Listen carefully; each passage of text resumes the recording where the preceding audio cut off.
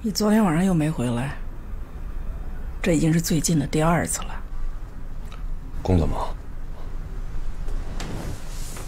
忙到没时间回来睡觉，忙到衬衫跟昨天穿的都不同。你又和他在一起了，还是又换了新的？你打算瞒我瞒到什么时候？我根本就没瞒着你，或者说没有刻意的瞒着你。我早跟你说过，你是我妻子，这永远都不会变。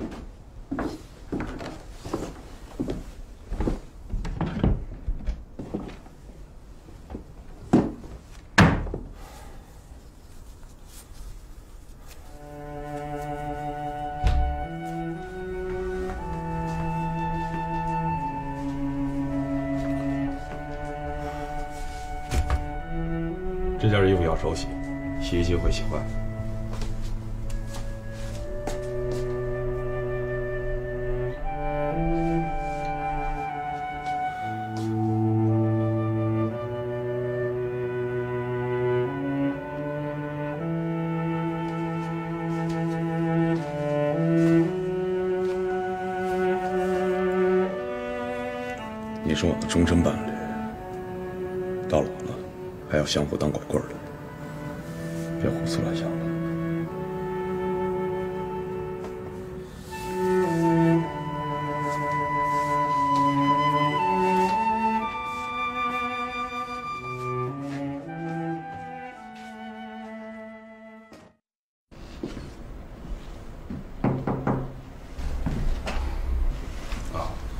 文件先放这儿吧，等我签完了叫你。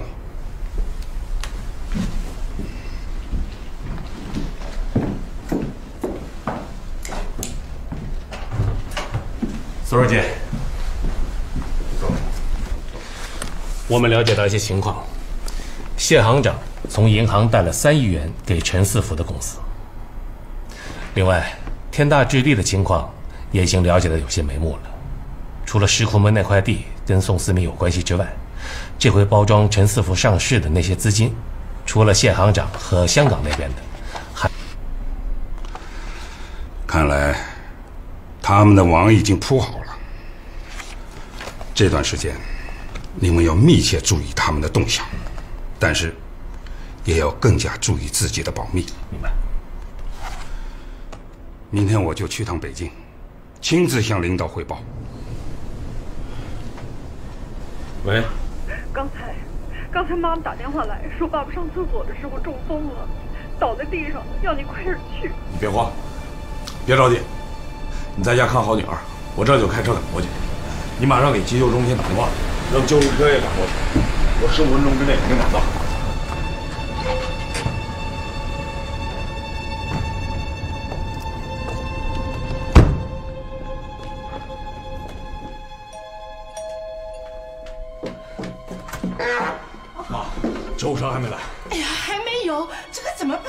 办呢不？办了。还在厕所，我都不敢动他。妈，来帮我。哎，好。哎呦，你小心啊！不行，别花小，一会儿车一来，咱马上就走。哦，你要当心。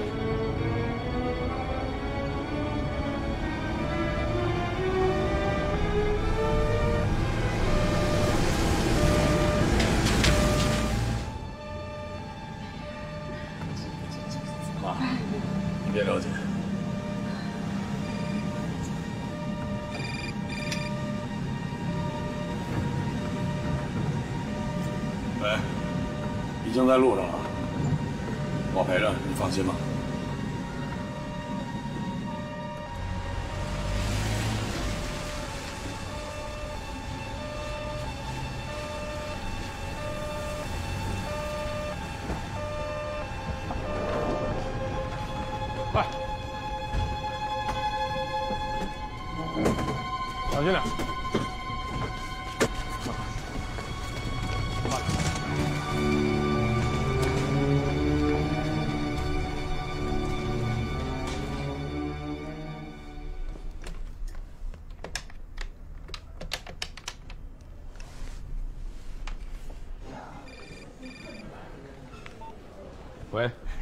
况怎么样？已经封进抢救室了，你别着急，不会有事儿。我想过去看看。你这会儿就别过来了，这你要过来，孩子一个人在家怎么行？再说你来了也不顶用。我在这儿不就等于是你在吗？我已经给他们院长打电话了，他一会儿就到，会配最强的医疗班子，放心吧。喂，对，别哭了，老婆，爸不会有事儿的。他以前不是也中风过吗？十几年都过去，不都没事了吗？有我在，放心吧。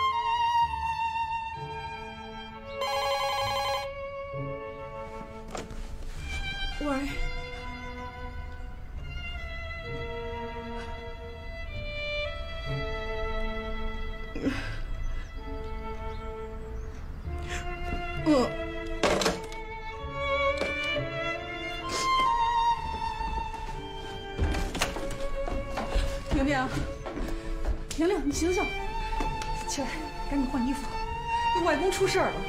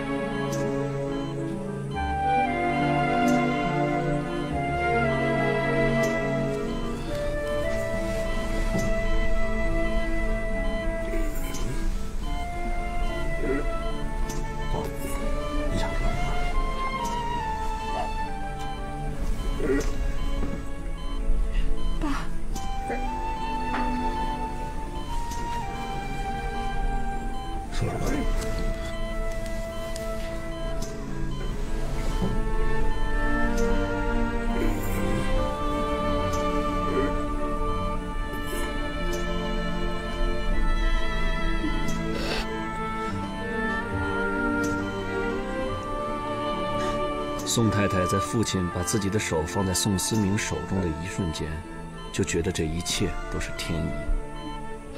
对，一定是天意。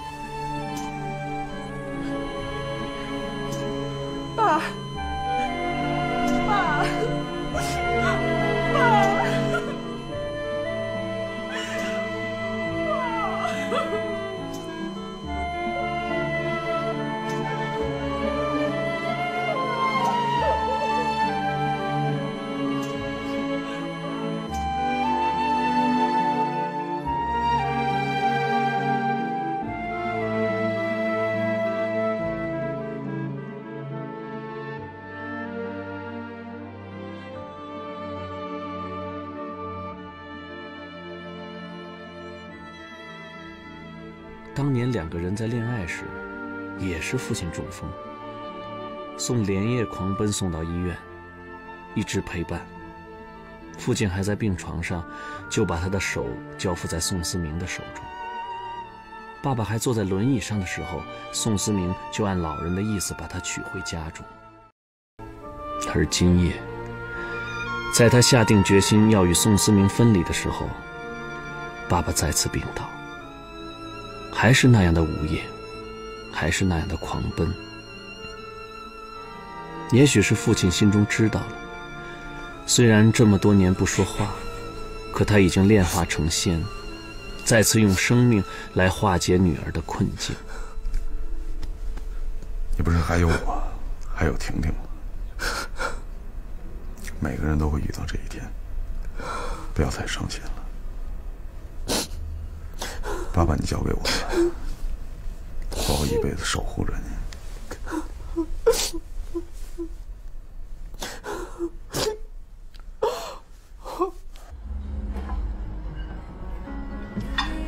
你现在账面上应该有三个亿资金，你现在要做的事儿就是找江州最好的写字楼给我租下一层的，还有，把你自己也包装打扮一下，脱离包工头的形象。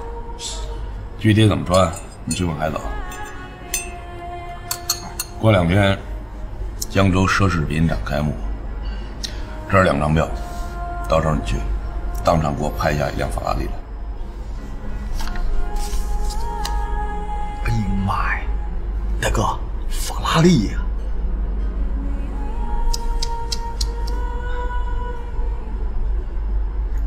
哎，不对，大哥，你不一直跟我说让我低调吗？这怎么又高上去了？我现在就是要让你高调上马，你就按我说的做。行，高调我会。小姐啊，买单。大哥，新车，您要不然先试试，过过瘾。我对这种车没兴趣。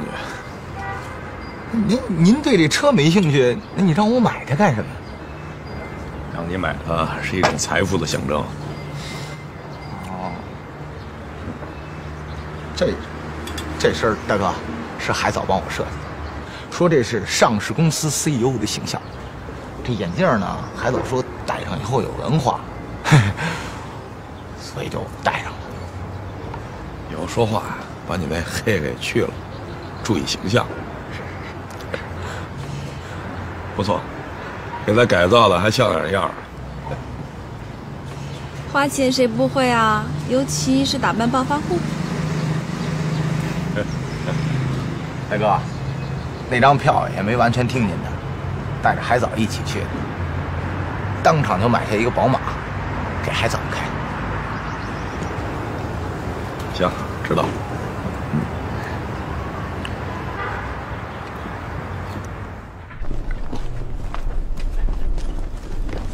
你们四个跟我走，工厂你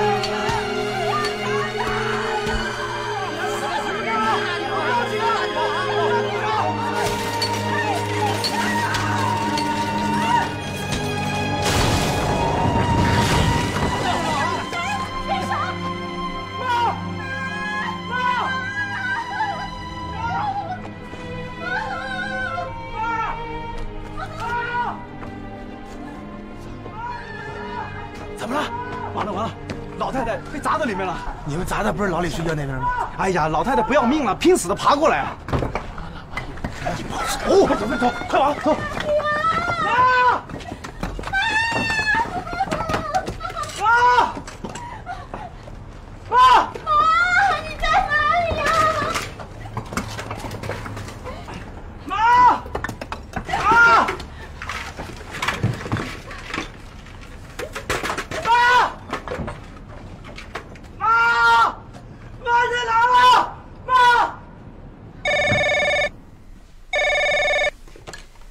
哎，看报纸了吗？还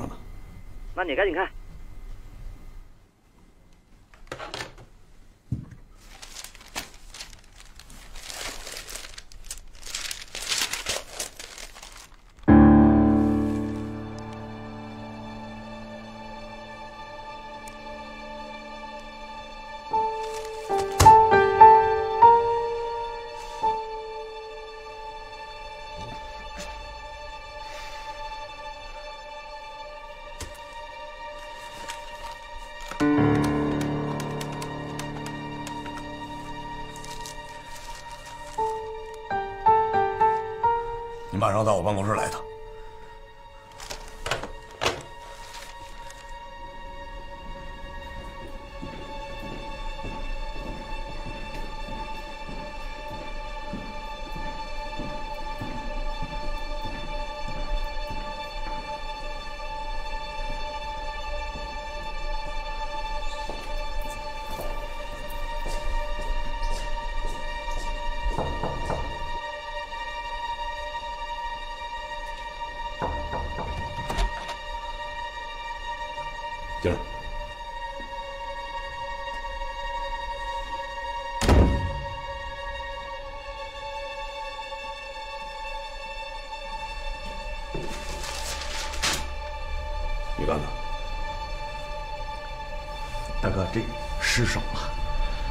他原本就是想吓唬吓唬他，谁知道他们家老太太她不要命了。她本来都瘫在床上都不能动了，这边都开砸了，然后他还往这边爬。您说，这不是自你干的？不是不是手下干的，但是是一块商量的。为什么事先不告诉我？大哥，这事儿我们商量过，原本是想告诉您的，后来又一想，这要告诉您，不就成知情不报了？那，所以就没敢告诉你。我是该骂你聪明，还是骂你蠢？你要事先告诉我，就不能让你这么干。你是在坏我大事，知不知？你现在什么身份啊？你什么身份？你知不知道有多少大事等着你去干？你怎么就摆脱不了鸡鸣狗盗？多少人在等着机会啊？你怎么不动脑子想想，机会怎么就砸你脑袋上？我以前看中你是因为觉得你听话，没想到你在背后捅我一刀。那那大哥，那当年不是您说的吗？小陈儿要速战速决，我我这也是听您的话呀。我让你速战速决，是让你犯罪去杀人啊！你上面三个多亿，你给他一两百万怎么了？跟你说过多少次，不让你在小钱上跟他计较，你听过没？我现在恨不得杀了你！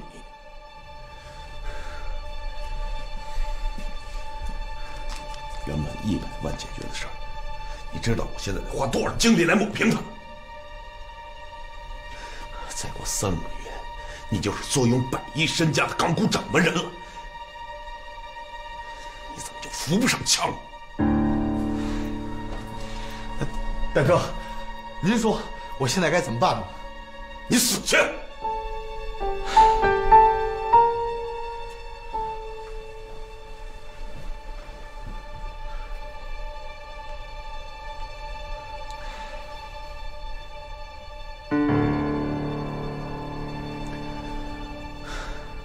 你先少骚扰，哪儿还有现成的房子？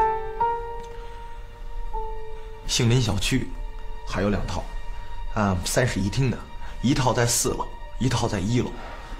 这一楼这套啊，原本打算做销售部，四楼那套呢，本来想给你弟弟，让他跟我干两年。你听着，你现在马上去找这个出事的房主，去跟他谈，把四楼那套房子给他。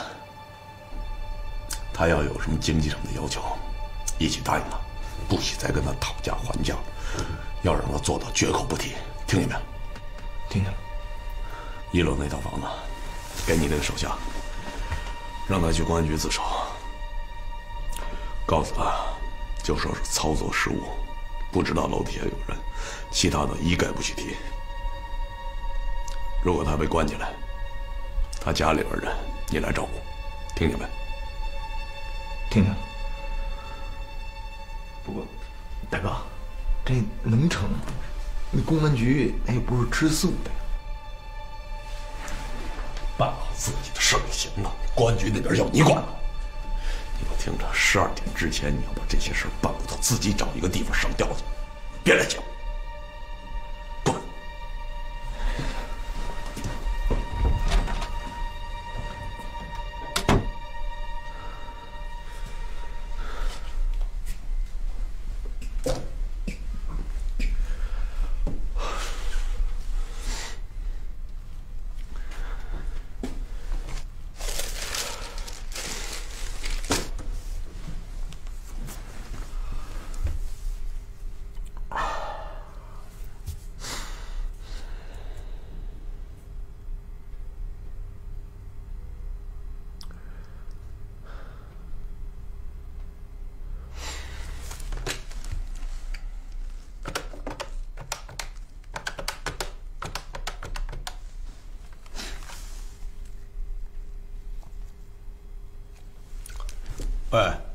局，我老宋，有个事儿啊，我就不跟你绕弯子了。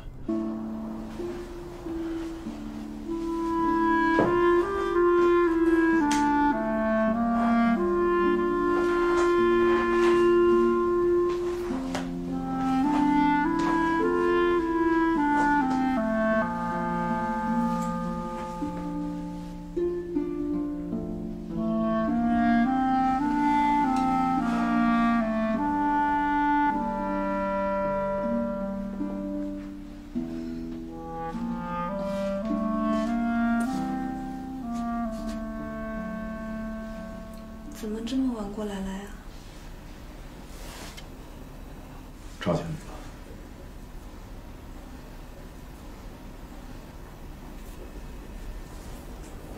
脸色这么难看呢、出什么事儿了？没什么事儿，就是有点累了。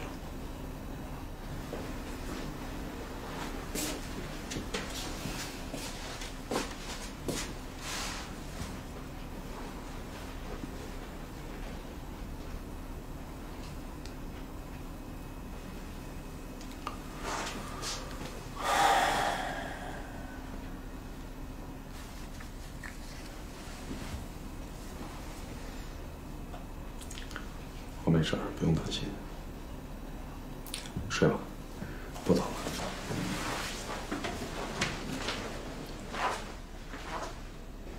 我怀孕了。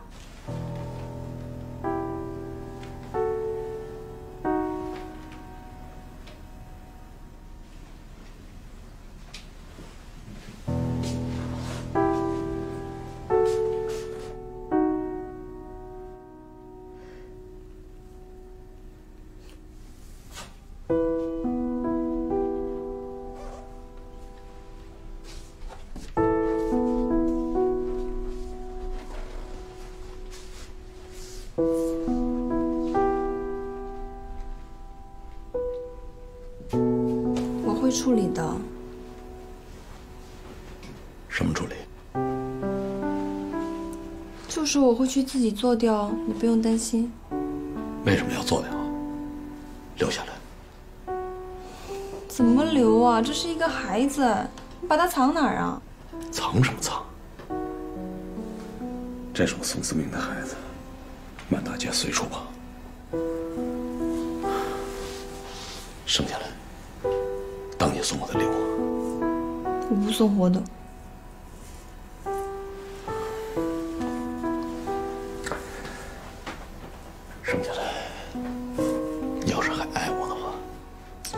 行，我怎么能让我的孩子一生下来就没有爸爸呢？他会受歧视的。怎么没有爸爸？我就是他爸爸。没有人会歧视他，在这个城市里，没有人瞧不起他。唉，不行了，我又没有结婚，又没有准生证，医院肯定不会让我生的。傻瓜，有我在，要什么准生证？不行了，我妈会打死我的。她怎么可能让我不结婚就拖着个孩子？你妈那儿我去跟她说，她一定会答应。你以为你是谁啊？啊，你把哪都当成你的管辖范围啊？我是她女儿，我们又没有结婚，我连个名分都没有。她要听你的就奇了怪了。那你先生下来，然后我再去负荆请罪。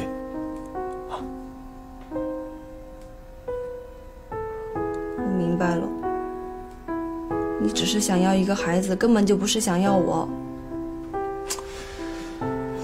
我还是不想要了，我可不想把我的生活变成一个解不开的死结。本来我跟了你以后，我就觉得我的生活已经够迷惘的了，我都不知道未来在何处。现在再多个孩子，我根本应付不了。如果有一天我想摆脱你都摆脱不了，还得被孩子给套住。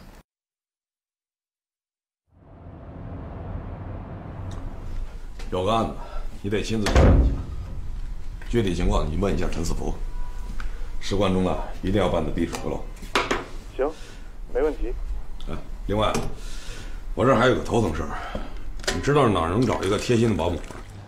保姆？我要找一个能照顾孕妇跟小孩的保姆。嗯，年龄不能太大，得可靠，有经验，需要整天陪住的。谁怀孕了？哎呦，哎呀，我就知道你小子啊，宝刀不老，还没开二度呢。正好我这里有个人选，是我一个远房亲戚，不过是个寡妇，不知道你是不是介意？人呢，比较老实，干活比较麻利，因为是寡妇，所以可以长期住在那儿。行吧，就是他吧。我会把家里整套钥匙都交给他。嗯，工资嘛，你让他开，我会在他开的基础上再加五百，只要他能照顾好孩子。我早就看出你小子不是什么存情的人了。你要是没有收获，是绝对不肯出手耕耘的。最后还是没有掏出你的手心啊！你看我这都干了些什么事儿？啊，忙活了半天，竟帮你去胖妞去了，真是丢份儿啊！行了，大恩不言谢，改天请你喝喜酒。我终于听到了你一句请客的话。酒呢，你先留着吧。我替你把手头的麻烦解决了再说。到时候攒到一起喝满月酒啊！保姆两天后就到。好，谢了。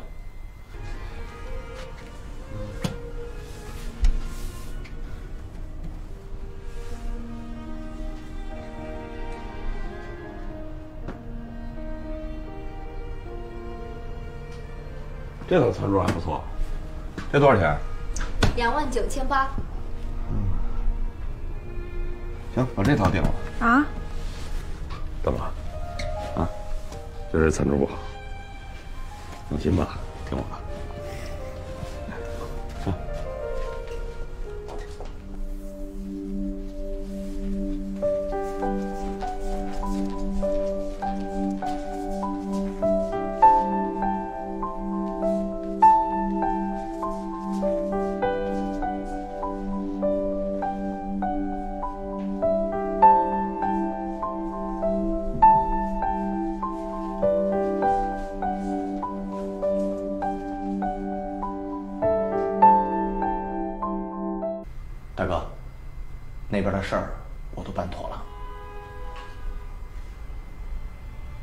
事儿不要不打招呼。最后出价多少？其实吧，他们家就那老太太坏。这老太太一死啊，他们家人还都挺老实的。我跟那男的谈过了，我说除了房子，你还要什么呀？他说没钱装修。这不是下个月就要交钥匙交房了吗？我在交房之前给他简单装修一下，装修的时候不要偷工减料，给他们装好一点。行，大哥，我好好给他们装。我不是说豪华，而是耐用。哦，他们能住上一套房子不容易。另外，给他们两万块钱，让他们过日子。行，要不然大哥这么着得了，索性给他二十万。说你就怎么做，成吗？人的贪念就来自于得到的太容易。给两万对他们来说已经不少了，你给二十万，他们会觉得来的既然这么容易，那以后就别做什么了，靠着你就行了。到时候你怎么办？给他们点意外惊喜，是为了巩固他们的嘴巴，不是为了买你良心上的愧疚，弥补你的罪恶。拉出去枪毙都不为过，吸取点教训，以后干事儿多动动脑子。是，大哥，这事儿就这么容易的过去了？容易？我把身家性命跟前途都压在你身上，现在欠下来，我得后半辈子去还。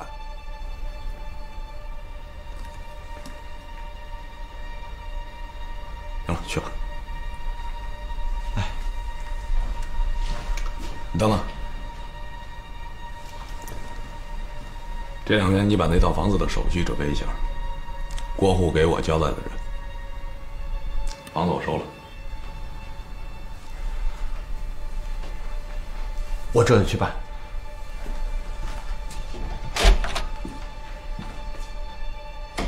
根据我们目前了解到的情况来看。买卖拆迁石库门那块地是问题的焦点。好在我们已经很早就发现了，天大置地在买卖石库门那块地的时候出现了问题。现在，由于拆迁而引发的人命案的出现，对我们来说是一个契机。不仅暴露了石库门那块地的问题，还从陈四福的身上发现了谢行长给他们贷款的线索。我还是那句话。这涉及到一条人命，涉及到一个官员的清明，我要的是证据。我们到那条巷子附近了解过，这户人家为了拆迁补偿费，和房地产公司已经碰撞了大半年了。可这个案子的最终了结却非常奇特。再去查，证据，让证据说话。嗯。我们不能放过一个坏人，也不能冤枉一个好人。等到上面下来人的时候，我要觉得我手中的证据是充分的。可是，可是什么？我们调查到这个程度，已经很困难了。我到市公安局去的时候，明显感觉到有阻力，有一股势力抱成了团，谁也泼不进。即便有一两个松口的，也由于种种原因不敢说。所以，所以什么？所以我觉得，调查到这个程度了，还是让上面自己下来查比较好。不，阻力再大，你们也要继续查下去。哎。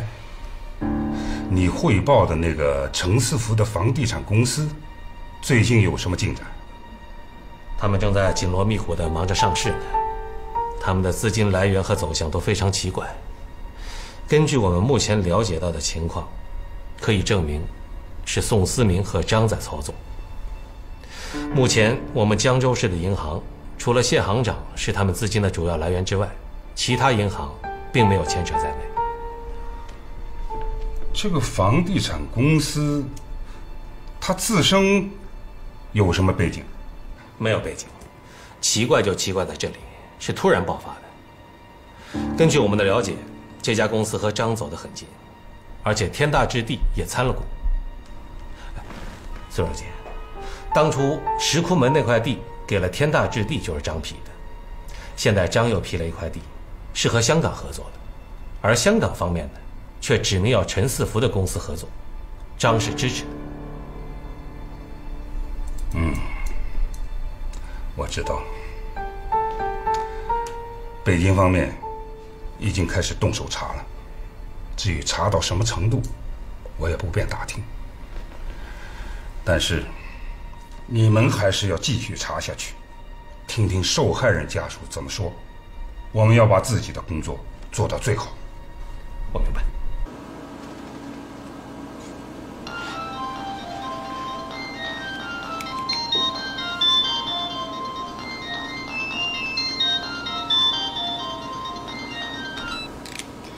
喂，姐，我现在在忙呢，一会儿给你回过去啊，拜拜啊。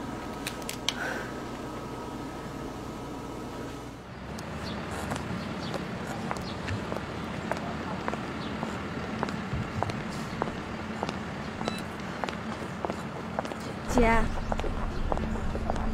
有事吗？我没事儿，那你肯定有事儿，要不然你这么久不来一个电话。我想见见你，中午到我这来吃饭吧。晚饭吧，午饭我晚上我有课不能等你，现在就过来吧。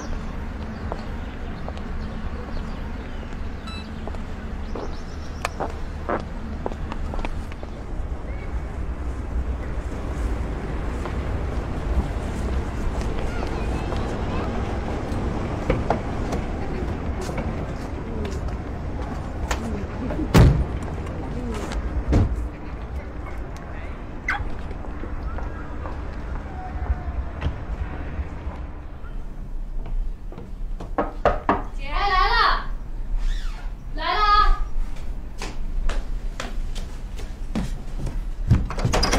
哎，快进来。嗯，哎，你好，你好。哎，这谁呀？阿姨，我新请的阿姨。哟，你请个阿姨，还带出来啊？哦，还不是送啊，让她跟着我，一秒钟都不能离开我。哦，是不是犯傻？是不是他不相信你啊？找个人监视你？是哈，情人嘛，总是不值得相信的。又拿这样讲自己的，多难听啊！事实嘛。哎，阿姨，你先去买点水果吧，我一会儿打给你啊。好的，那个马路对面就有个卖的。嗯，再见。好，再见，再见。宋不是那种人，他找个人跟着我是因为，因为什么呀？因为我怀孕了。你说什么？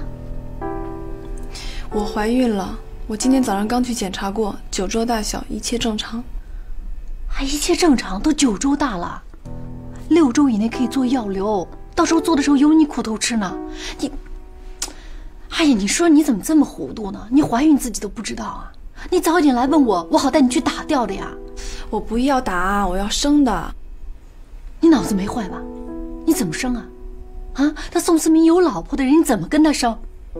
你跟他生的孩子算什么呀？大人糊涂，难道让小孩跟着你们一辈子糊里糊涂的呀？别胡闹啊！赶紧跟我去打掉去。我就当是被人强奸了，意外怀孕了。我当一个未婚妈妈总可以吧？你，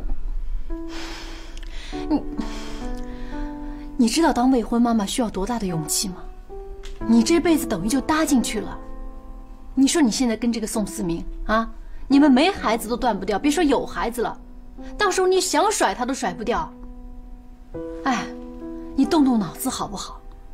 你以后不结婚了，这真不嫁人了。你要是嫁人的话，人家怎么看你跟孩子呀？你这个孩子是，是不正常婚姻出来的，人家是要歧视他的，而且人家会怀疑你人品的。开什么玩笑，还生呢？而且，我说一句难听的啊，你就算是离了婚再结婚，哪怕是，哪怕是你死了丈夫再结，都要比你现在这种情况好很多。他怎么说？他什么意见？就是他叫声的，他喜欢的不行。我真不好骂他，还喜欢的不行呢。他凭什么喜欢？啊？他拿什么喜欢？责任呢？义务呢？轻飘飘一句生就完了？他能给你海藻和孩子什么社会地位？海藻，我跟你说，对于孩子来说，女人的责任和义务永远要大于那个只播个种就爽一下的男人。哎呦，我本来是不想来的，我都知道你要说什么，可是我又不能不来啊，因为这以后我还需要你在妈面前替我掩护呢。我才不替你掩护呢，姐，这个孩子我一定要生。你说的那些问题我都想过了，我又不是未成年人。可是你想啊，如果他坚持要，我坚持不要，那我和他之间就会有隔阂了。他肯定会怀疑我对他的真心的。你想，而且人家都说了，你要爱他呢，就为他生个孩子。我还不信了，那以他的为人，他会丢下我们母子不管不顾吗？就连周围那些不相干的人，他都可以照顾得很妥帖。那这还是他亲生骨肉呢，他会不管吗？还有，在我内心，我还是希望有一天，可能他会娶我的呀。那如果我和他之间连一根纽带都没有，那还不说散就散的？你想拿孩子当纽带，拿孩子牵制他呀？我提醒你啊，这是一条小命啊，这不是玩具，不是砝码的。你说你跟他之间啊，你们说散就散，我是一点都不含糊的。可有了孩子，你们怎么散啊？你说说看，你们怎么散？散完以后，这个后果谁负？我相信，如果有一天呢，我想结婚，我也一定会找到一个爱我的人来娶我。就连最坏的打算我也想过了，顶多我一个人带着孩子到国外去呗。你还真别欺负大众的容忍度，你以为未婚生子是个光荣的名词啊？你以为社会会原谅那些破坏家庭的细胞？啊！我告诉你，不管社会再怎么发展，不管大众的容忍度怎么提高，道德标准永远在这儿。不是我说你，你说，你说你好好一个名牌大学毕业生，啊，要长相有长相，要工作有工作，你做什么不好，非要搅到这种事情里边来？你让我做姐姐的心里怎么想？是不是我没带好你啊？而且你就算把他生下来，你以后真的不怕别人对你指指点点的，对你的孩子指指点点吗？你要这样不负责任的话，搞不好你孩子以后会恨你一辈子的。姐，宋发过誓的，他不会丢下我们母子不管不顾的。我想过了，只要有他在，我们就很安全；只要有他罩着，我就什么都不怕。以后的事情以后再说，我已经决定了，你不要再劝我了。我今天把话放这儿，郭海藻，男人要靠得住，母猪都上树。姐，你可不可以不要那么悲观呢？你不要把所有的责任都往自己身上扛啊！我觉得有的时候我们还是学会相信别人的好。还早不是我悲观，事实证明，从古至今，只有悲观主义者才活得长久。记住我一句话：我们天不靠地不靠，只靠我们自己。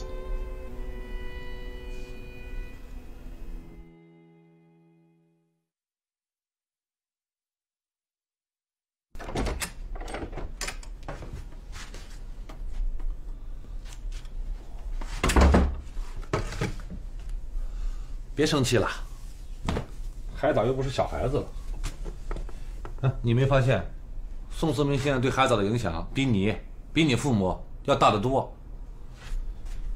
哦，还有，那海藻开那车，那可是宝马哎，起码也得百八十万的吧？反正我觉得，他光享受，他不能不尽义务，给人生个孩子那是应该的。我一脚踹死你！宝马能跟孩子比啊？郭海藻要是真爱宋思明，我无话可说。可他现在是当事者迷，他陷在里边看不清。这宋思明，如果是个穷光蛋，如果不在这个位置上，海藻爱他吗？他爱他什么呀？他无非是爱他头上那顶光环。可宋思明头上的光环是他自己的吗？那是他社会职位赋予的。我说的不好听一点，他今天在位，今天有，明天出点事儿了，不就什么都没有了？到时候顾海藻怎么办？哟，看来你一点也不糊涂嘛，看得挺明白的。哎，这就是我为什么跟他们摆脱关系的原因。这番话呀，你倒是应该早点跟海藻说。怎么没说？我说了无数回了，他听吗？而且他一直给我的态度挺坚决的，不可能跟宋思明好到底，我也就相信他了。我想嘛，他仗着自己年轻是吧？经历经历也就拉倒了。而且他那时候跟小贝分手，我如果让他马上抽身，根本不可能，因为这时候女孩子最脆弱，这感情最空虚的时候，他需要借着一个人的肩膀走一段时间。我想走走，等他清醒了也就拉倒了。想到给我弄出个孩子来，都怪我，真的都怪我，就只顾着忙自己这点事儿了，忙工作，忙房子，还有你那点破事儿，我自己妹妹都耽误了。这破城市，这破城市，让你只能专注于眼前自己这一亩三分地。一点都不能分神照顾照顾别人，我想照顾照顾自己亲妹妹都不行，稍不留神就像在河边行走一样，扑通你就掉进去了。你怎么能够埋怨这个城市呢？你有什么样的生活目标？你想住在哪里？这都是你自己选择的呀。而如果当初你要是选择乡下的小镇，说不定你现在还在菜地里头摘茄子呢。哎呀，成功的时候。就感激自己啊，多么多么奋斗；失意的时候，就开始怪这个城市的冷漠。真是。关于海藻，他都已经是大人了，你能拿他怎么办呢？你总不可能一脚把他踢到楼底下去吧？他是不是爱那个宋思明？反正在我看来，他现在不想退出。我难受就难受在这儿。这样的人是不是一个两个？这样的人的悲惨下场的，也不是一个两个。都顾着眼前这点利益，真不为将来考虑。连我自己亲妹妹都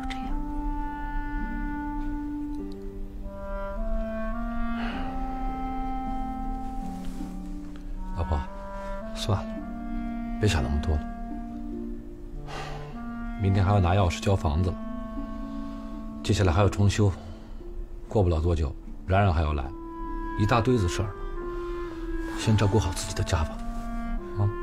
那那交房的时候是不是要验房啊？哦。那怎么验？万一少个三五平米，我们也看不出来啊。啊？房屋质量怎么验啊？你表面看看，拿个皮尺拉一拉，差不多那就行了呗。至于质量。你总不可能把墙扒开吧？啊，这可是我们一辈子的积蓄啊！我菜场上买根葱，我还挑三拣四的呢。一套房子我不挑一挑。现在问题的关键就在这儿，现在买房子根本就没法挑。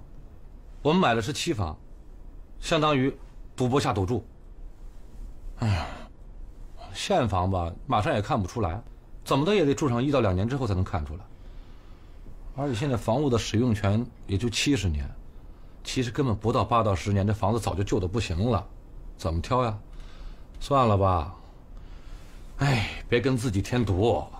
其实这买房子就跟挑老婆一样，睁只眼闭只眼，这一辈子他就这么过去了。你是在说我吗？什么叫睁只眼闭只眼啊？不是，对你呢，我是千挑万选的。赶紧躺下吧。招人烦。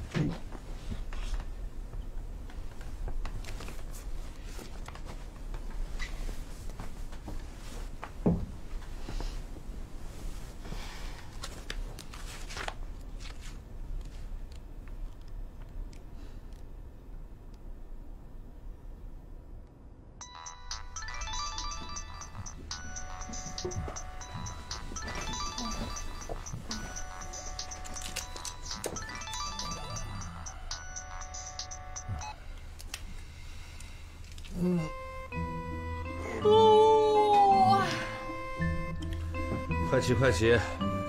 今天要直奔你的江苏。什么江苏啊？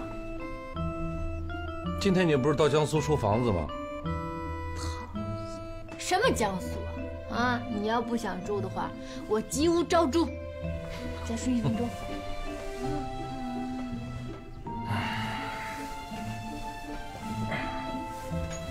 行了。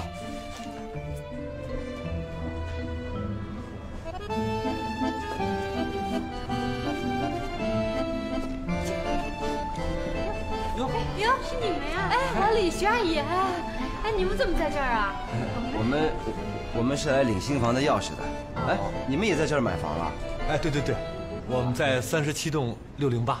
哦，哎，我们也住三十七栋，我们住四零八，在你们家楼下。哎呀，我们又要做邻居嘞。哦，你们在四零八呀？啊，对呀。哎，素纯，我记得四零八好像比我们那儿要多一间啊。是吗？你们怎么买到这么好的房子啊？哎，我们是拆迁分的房。哦，那蛮划算的。嗯，你们原来那个房子就那么十几个平米哈，分到这么大一套。哎，现在这套房子卖卖要一百多万呢，是吧，苏纯？是是是是是。哎，李奶奶呢？她怎么没来啊？今天可是看新房啊。我妈妈前一阵儿刚去世。是吗？哎呦，太不幸了！你看，这半年前看老太太身体还挺硬朗的，这老人嘛上了年纪真是，哎，不好意思，不好意思。没事没事，那你们忙啊，我们先走了。好好好，谢谢，再见啊！再见啊，再见，好，再见啊。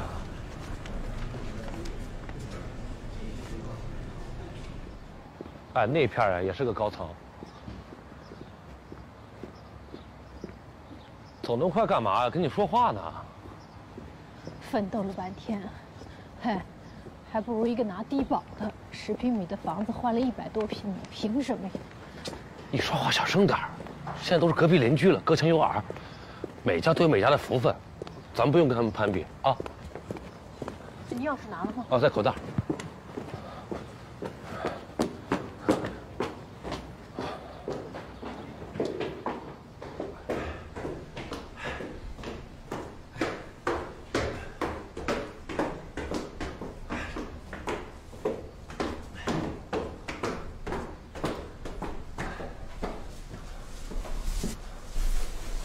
哟哟，这房子怎么是装修过的呀？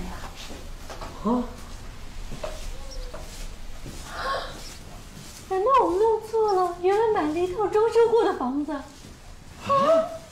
这是老天爷给的惊喜！快快看看我们那套家，啊，那装修我还挺喜欢的。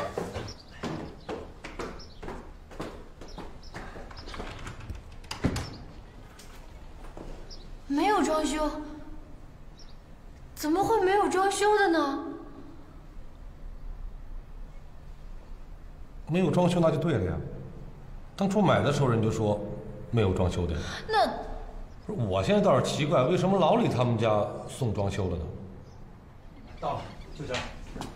哎，啊你们好，谢谢谢谢好来来，哎，再见，好再见再见好，好再见啊。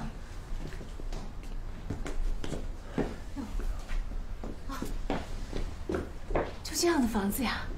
哎呀，太好了！哎呀，爸，我要这间。哎呀，哎呀，真是，我徐丽能住上这样的房子，真是老天开眼嘞！哎呀不是老天开眼，是我妈开眼了。哎呀她早就说过，舍得舍得，有得必有失嘛。唉能让我们过上这样好的日子，是你妈的心愿。搞半天还是没有摆脱石库门的命运，跟老李家做了邻居。一个十平米的小屋换一个一百平米的房子，不是我说，这中间肯定有小动作。行了行了，别想了，看你蹭了一身灰。嗯，房子还是不错啊，咱们简单装修一下就可以搬过来住了。你再简单装，也不能不比老李家的吧？那我们成什么了？人各有命，人家老李家的装修还真是不错。按照我目前我们的情况看啊，还真装不得人老李的水平。哎，我说老婆啊，咱们地上呢铺点复合地板，墙呢简单刷一刷，买点家具就可以搬过来住了。哎呀，等咱们以后条件改善了，咱们重新再装一遍。谁他们家不是三到五年再重新装过的吗？你有见过八十年代房子一直保持到现在的吧。再说了，然然还小，东西太好了，破坏了咱俩还心疼。啊，约束孩子也不好，所以说简单最好。什么简单最好？你想不简单都不行。你现在还有钱重新装吗？这一身展威的，那我今天把话放这儿。现在你这个房子装成什么样，将来这个房子就是什么样了。哎，那也不一定，将来的事儿将来再说。哎，说不定到那个时候，咱俩条件改善了呢，混得好了呢，买了一间大别墅呢。像这样的破房，咱还不惜得住了呢。所以老婆啊，一定要有长远眼光。来，来呀！哎，把这个阳台给封了，咱不就多了一间阳光房吗？人不是刚刚说了吗？不让封阳台，瞎封什么呀？那我那些书往哪儿放啊？我放在阳台上，雨淋日晒的，这不就赔本了吗？要不这么着，咱们先按兵不动，咱们看其他人家封了，咱跟风。嘿，看看卧室。我们的家具都是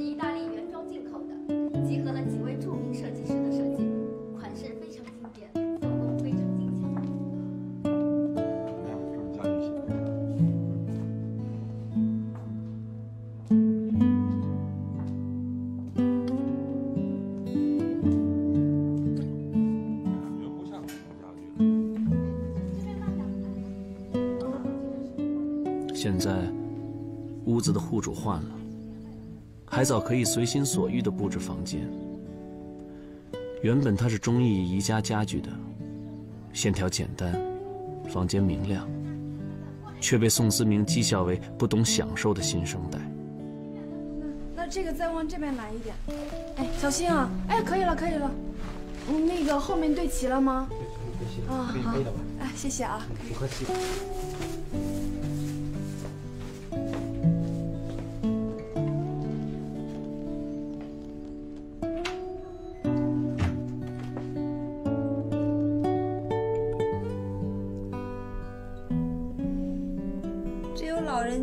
会喜欢这样的家具哦。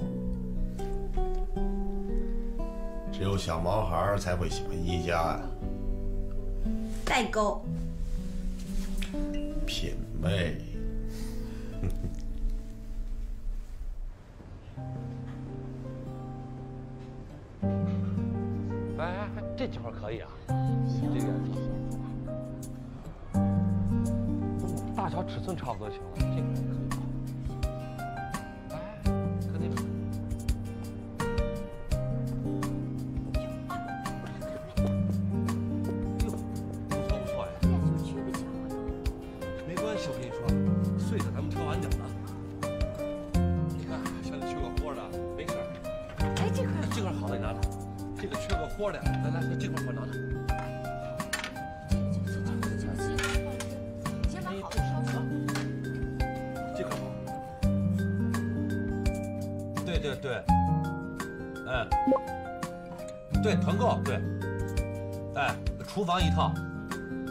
厨房，对对对，哎，能能便宜多少钱啊？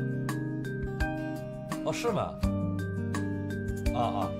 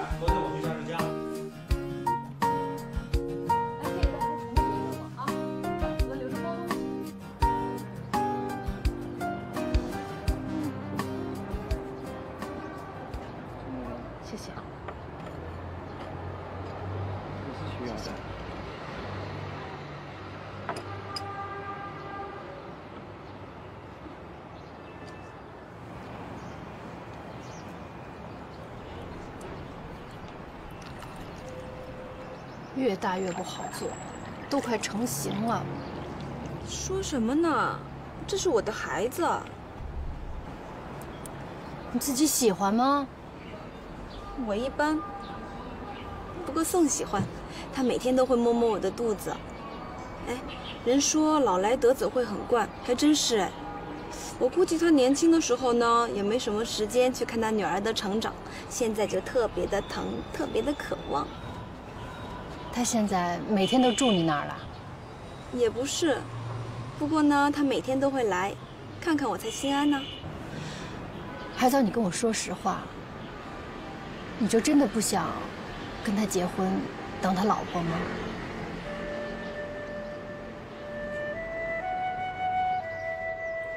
结婚又怎么样？